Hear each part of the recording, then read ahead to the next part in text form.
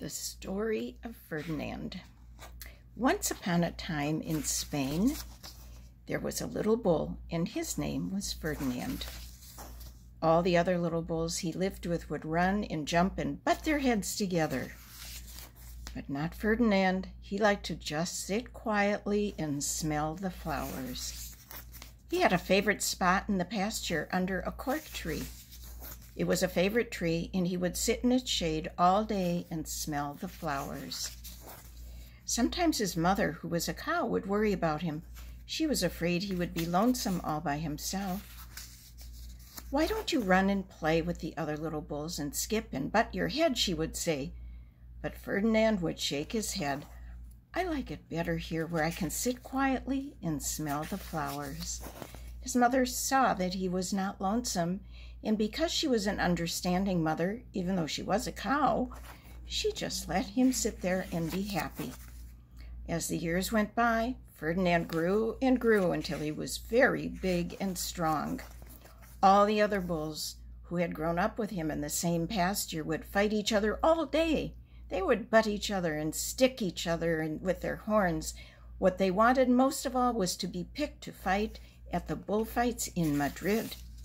Madrid is the capital city of Spain. But not Ferdinand. He still liked to sit just quietly under the cork tree and smell the flowers. One day, five men came in very funny hats to pick the biggest, fastest, rough, roughest bull to fight in the bullfights in Madrid.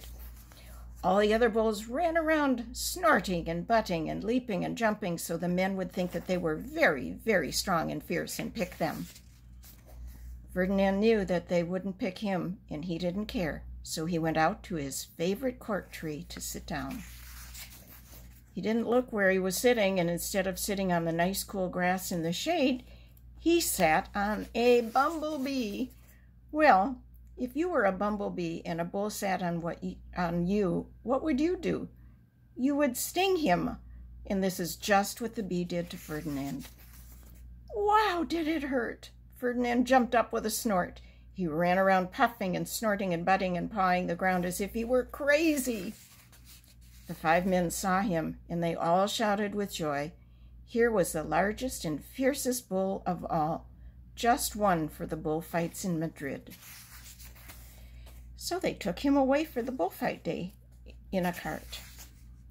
What a day it was. Flags were flying, bands were playing and all the lovely ladies had flowers in their hair. They had a parade into the bull ring. First came the banderilleros with the long, sharp pins with ribbons on them to stick in the bull and make him mad. Next came the picadors, who rode skinny horses, and they had long sticks. I'm sorry, long spears to stick in the bull and make him madder. And then came the matador, the proudest of all, he thought he was very handsome and bowed to the ladies. He had a red cape and a sword and was supposed to stick the bull last of all. Then came the bull, and you know who that was, don't you? Ferdinand. They called him Ferdinand the Fierce. And all the banderilleros were afraid of him, and the picadors were afraid of him, and the matador was scared stiff. Ferdinand ran into the middle of the ring, and everyone shouted and clapped because they thought he was going to fight fiercely and butt and snort and stick his horns around.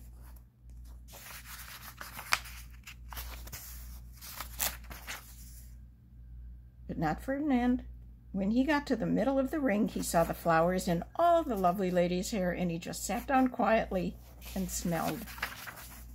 He wouldn't fight and be fierce no matter what they did. He just sat and smelled. And the banderilleros were mad, and the picadors were madder, and the matador was so mad he cried because he couldn't show off with his cape and sword. So they had to take Ferdinand home.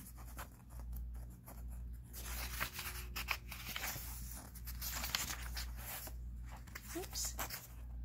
And for all I know, he's sitting there still under his favorite cork tree, smelling the flowers just quietly. And he is very happy. The end.